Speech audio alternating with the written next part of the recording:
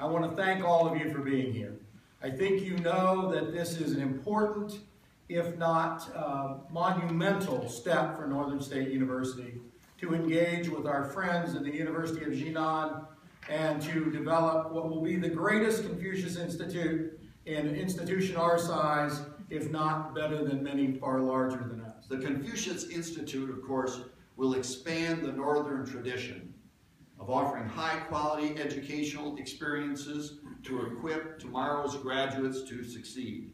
This new program will offer more opportunities for students to study abroad, give students the chance to learn the Mandarin language. You know, you can't discuss business, you can't discuss culture if you can't discuss. And language and understanding of lang language is foundational to that. I've had the pleasure of being in China twice.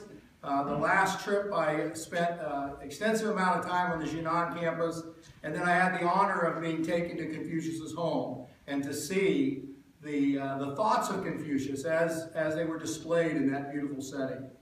The process has been a long process in developing the Confucius Institute.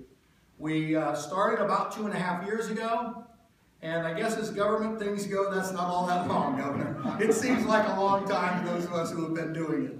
The Confucius Institute at NSU is a critical step forward for us. It speaks to what we believe are strong international relations between the U.S. and China.